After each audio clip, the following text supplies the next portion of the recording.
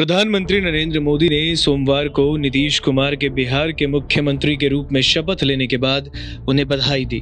आपको बता दें कि प्रधानमंत्री नरेंद्र मोदी ने केंद्र की ओर से हर संभव मदद का आश्वासन देते हुए कहा कि राष्ट्रीय जनतांत्रिक गठबंधन, एनडीए का परिवार राज्य के विकास के लिए मिलकर काम करेगा।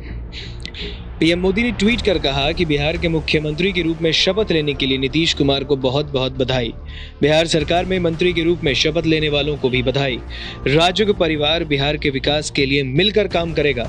बिहार के कल्याण के लिए केंद्र की ओर से मैं आपको हर संभव मदद का आश्वासन देता हूँ।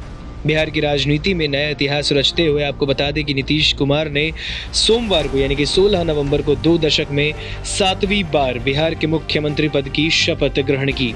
तो हाल ही में बिहार में संपन्न विधानसभा चुनाव में एनडीए को 125 सीटें मिली तो जिसमें नीतीश कुमार की जदयू को 43 जबकि भारतीय जनता पार्टी को चौहत्तर सीट हासिल हुई। वहीं आपको बता दें कि आरजेडी को विधानसभा चुनाव के परिणाम में 75 सीट हासिल हुई है तो महागठबंधन कुल 110 सीट पर सिमट गया।